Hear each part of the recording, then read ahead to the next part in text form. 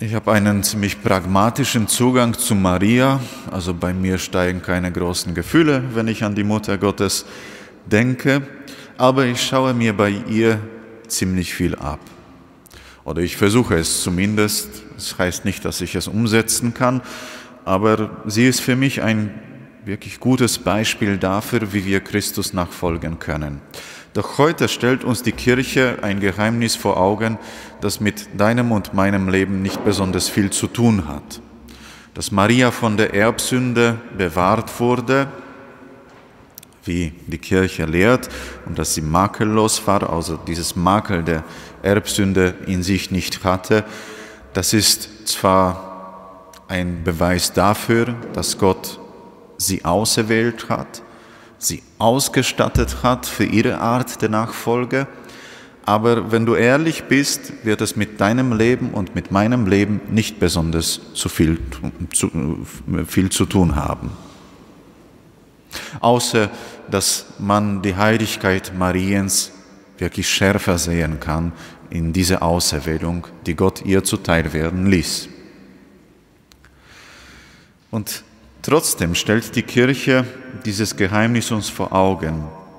Und deswegen lohnt es sich, in die Lesungen zu schauen, besonders in die erste Lesung aus dem Buch Genesis, wo wir gehört hatten, wie es zum Fall gekommen ist, was die ersten Menschen, auf Deutsch gesagt, verbrochen haben, dass sie aus dem Paradies ausgewiesen wurden. Also das ist nicht die ganze Geschichte, die wir heute gehört haben, nur ein Teil davon und das ist auch nur eine von zwei verschiedenen Erzählungen, die uns darüber berichten, wie die ersten Eltern das Paradies verloren haben. Und wenn man genau schaut in das Buch Genesis, also in das erste Buch des Mose, wird man stutzig wenn man sich die zwei Bäume im Paradies anschaut. Also Gott hat das Paradies gemacht und da waren viele Bäume, zwei waren aber besonders. Der eine Baum, der in die Mitte des Gartens, Gartens gesetzt war, das war der Baum des Lebens.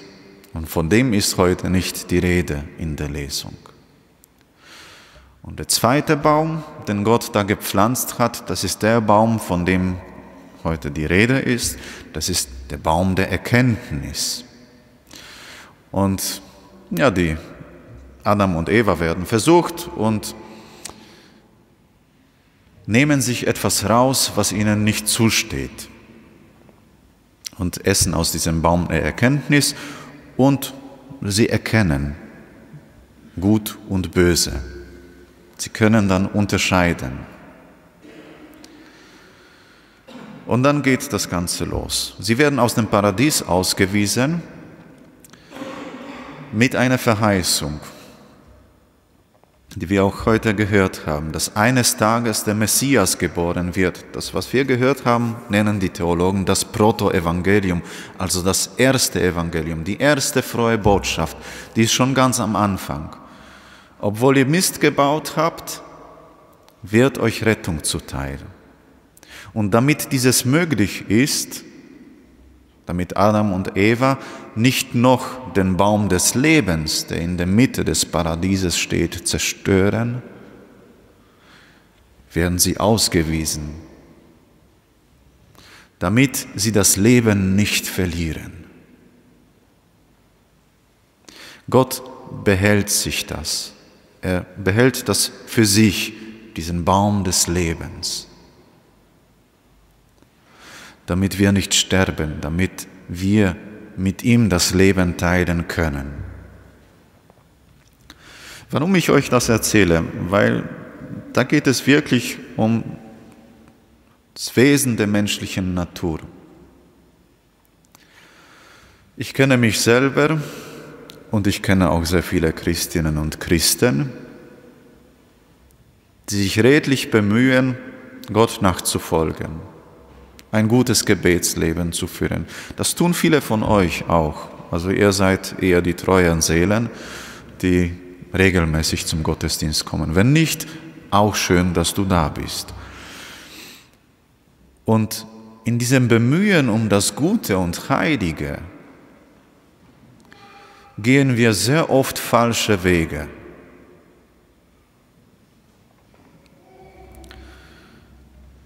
Wie oft muss ich das erleben, besonders in der Kirche, wenn man etwas anfängt, etwas Neues macht. Sagen wir, ein neues Lied einübt oder ein neues Lied verwendet in der Liturgie, das noch nie jemand gehört hat. Als ich Pfarrer war in einer meiner früheren Dienststellen, habe ich das erlebt. Also ich bin gekommen und das Repertoire bestand aus ungefähr 30 Liedern durch das ganze Kirchenjahr hindurch. Ist nicht so besonders viel. Der Vorteil ist, man braucht das Gotteslob eigentlich nicht. Und ich war da ein bisschen was anderes gewohnt und habe gesagt, naja, 30 Lieder, das ist ein bisschen mau. Das ist ein bisschen armselig.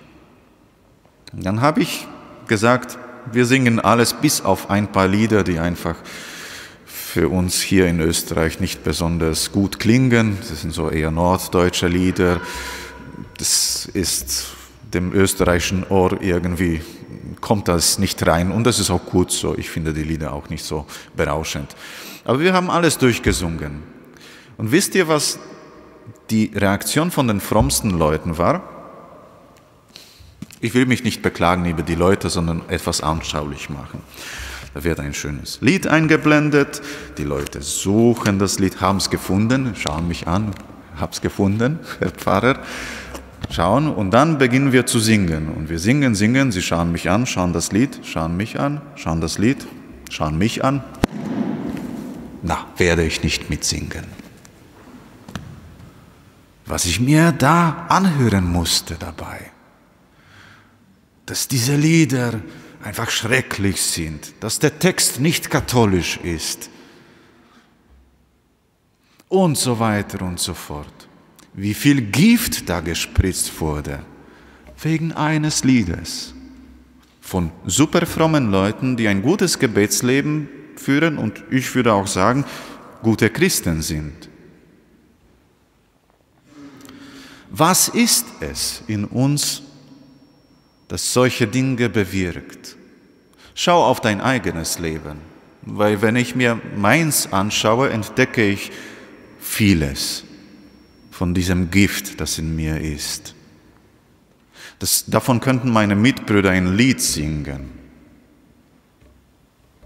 Du brauchst nur den Stefan, den Alexander, den Helmut fragen, wie ich manchmal sein kann, obwohl ich das eigentlich nicht will. Und trotzdem gebe ich dem nach, sehr oft.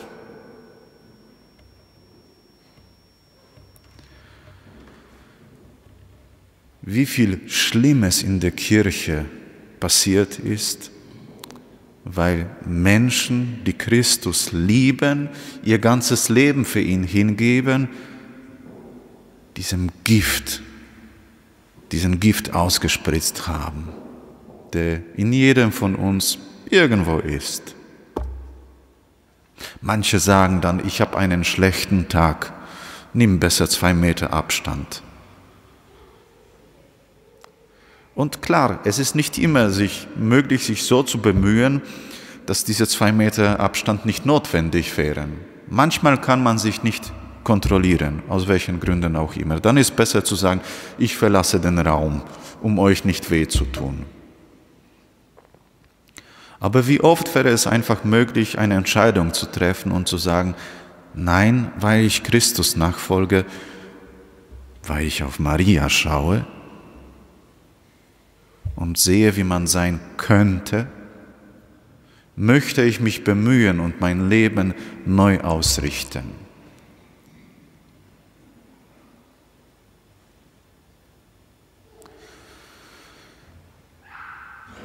Ich glaube, dass wir in der heutigen Zeit von Gott sehr dazu gedrängt werden, uns unsere eigene Erbsünde anzuschauen. Das ist eben dieser Gift, den du in dir trägst, den du nicht verschuldet hast meistens, der einfach da ist.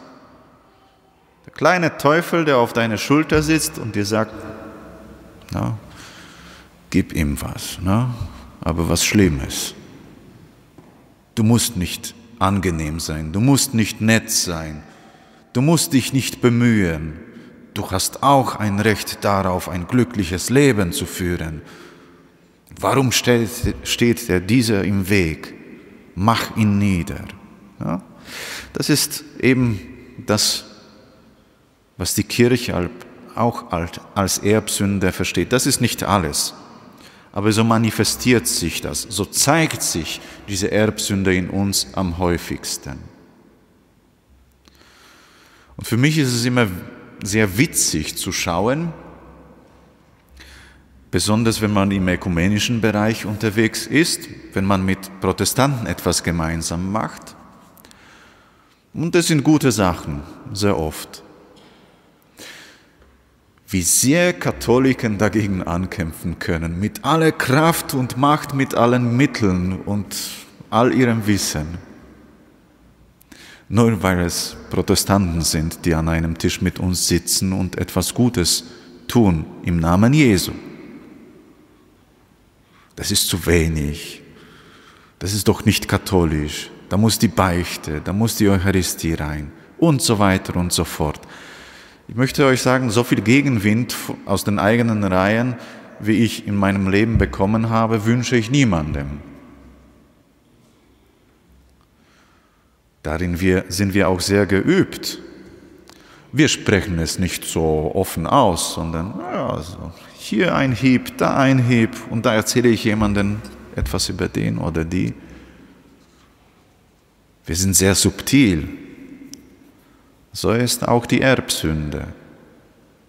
So wirkt auch der Böse in uns. Er ist sehr subtil, er zeigt sich nicht. Warum auch? Er kann mit kleinem Einsatz Großes bewirken in uns. Und es stellt sich die Frage, welchen Einsatz bist du bereit zu geben, zu investieren? damit das Gute, das Gott angekündigt hat, einfach in Erfüllung geht, damit der Baum des Lebens im Paradies nicht stirbt. Kannst dir dein Leben wie diesen Garten Eden ein bisschen vorstellen. Und drinnen steht dieser eine Baum, der dir Leben schenkt. Das ist Gott selber. Womit düngst du diesen Garten und diesen Baum? Ist er vielleicht schon abgestorben? Könnte auch sein, ganz tot. Das macht nichts. Auch an einen scheinbar toten Baum kann man einen neuen Zweig einpfropfen und meistens funktioniert es. Das macht Gott mit uns in der Beichte, in der Umkehr, weil die Beichte alleine reicht nicht aus. Täuscht euch nicht. Die Nachfolge ist viel mehr. Du musst täglich die Entscheidungen treffen, wie ich sein möchte und was dem Evangelium entspricht. Und ich möchte dich ermutigen, diese Auserwählung Mariens hat nicht bewirkt, dass ihr Leben leichter war. Sie musste auch Entscheidungen treffen. Als der Engel ihr diese eine Frage stellte, konnte sie ruhig auch Nein sagen. Und wäre sie ein Mann gewesen, würde ich sagen, sie hatte sicher die Hosen voll, aber das ziemt sich nicht, deswegen sage ich es nicht. Die hatte sicher Angst.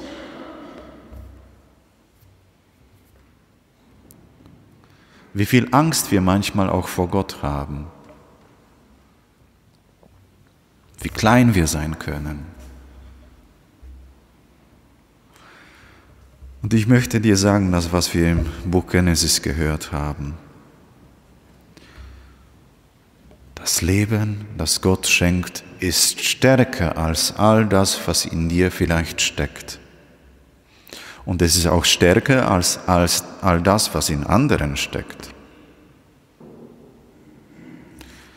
Du musst es nicht unbedingt bekämpfen, aber versuch, das, was in dir ist, in den Griff zu bekommen. Und du musst deinen Nachbarn nicht in den Griff bekommen, sondern versuche selber das zu tun.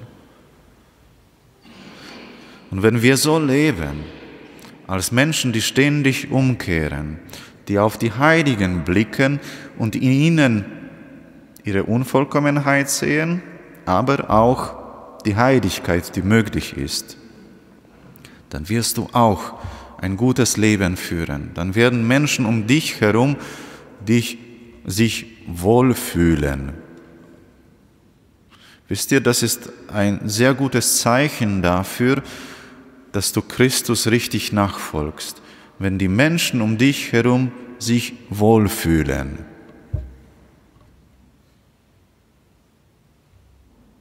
Und ich glaube, das ist kein schlechtes Ziel im Leben.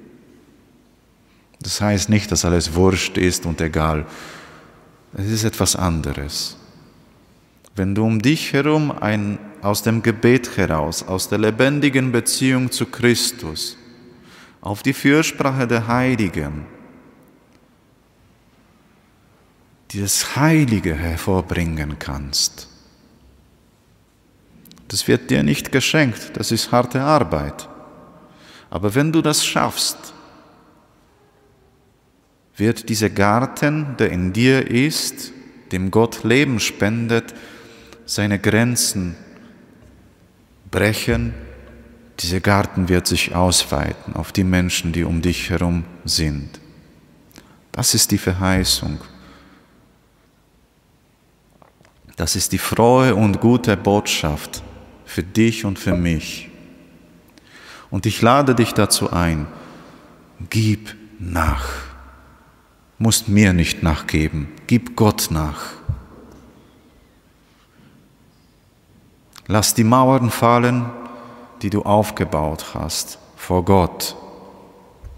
Manchmal, manchmal muss man sich vor anderen Menschen schützen, das ist okay, aber nicht vor Gott.